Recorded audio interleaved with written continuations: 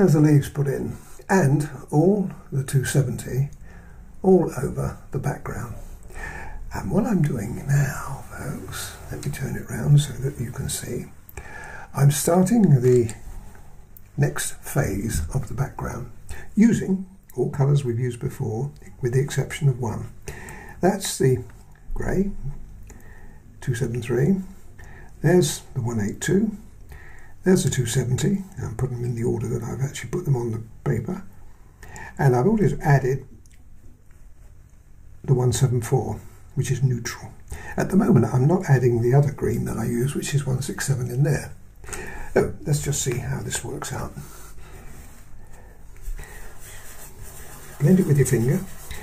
What we're going to end up with is a grey-ish, green-ish base colour. And again, using the colour shaper, push it right up into the edges. Because this is going to be a foundation colour now for the strong tones that we're going to be putting in. What we want to do is we want to make it with a strong tone, but we don't want to make it too dark. Otherwise we won't see these leaves. The other option we've got is to put some more leaves in, which I think I won't put them in as precise as that, but we're going to, we're going to indicate them, which will be fun. So let me show you how this works. Grey first of all. So we've got grey, 270 base, grey as the first colour that goes in. Therefore we're keeping pace and tone with the rest of the picture. Nothing foreign. When you come in here, I've already put some uh, stalks in here from the leaves, but we can't really think too much about that now. We certainly can't go around them. So that's going to have to be put in afterwards. If they're covered up, doesn't matter, I'll make them up. Now I'm going to do a little bit here. This is the most difficult bit because you can see we're going to go around all of the leaves. The other option I would have had would be to make the leaves nice and strong in the line drawing and then rub them out once we finish the background. Um, I don't really fancy that because it's all going to, it's going to be compressing the paper. Now, me just finish this off and then I'll explain to you the thought pattern behind this.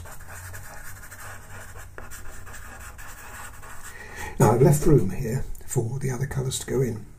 The other colour, the next colour I'm going to be putting in is the 170, which is the main colour in here. And that can go in sometimes where the, the grey is put in and sometimes where we just have the base colour 270.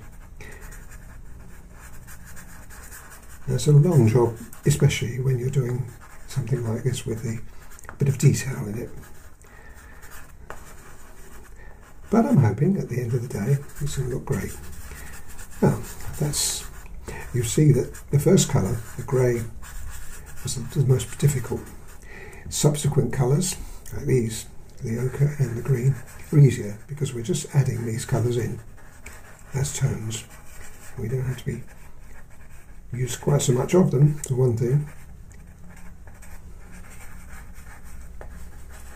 And it's quicker. Now, that's more or less as you saw it. The only addition to that was the 174. And I didn't put much of that in, but I'm going to put a lot more of it in as we work towards our second or third application of colour if you consider the base colour first. That doesn't look anything at all, but it's going to look like that in a minute. So rub with your finger where you can. It's always best to use your finger where you can, but obviously I'm not going to get in there. So what I'll do here is I'll turn it round and I'll get as close as I can with my finger and then we'll have to rely then on the colour shaper and that will rub the rest of the area in. I'll do a little bit and then I'll break off. You can see how easy it is if you've got one of these. Let's go around here. Uh, it doesn't really matter if you don't do touch the, the leaf, because that's just going to work its way into the background. Got it? No, I've got to do those now. Now, what I'll be doing next is this bit, which is, uh, let me just show you once again, just a little bit more as to the colour sequence I'm using. 273 mid grey.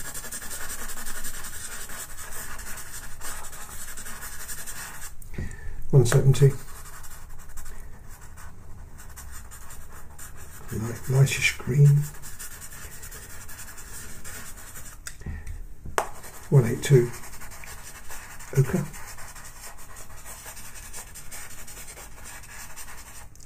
And one seven four. A spot of that is all you need, and then rub it in. And again, up close to the animal, use your colour shaper. Okay, well you can leave me to finish that off, but you see already it's starting the ball rolling. We can see that the background, and we're going to then develop now a stronger colour here.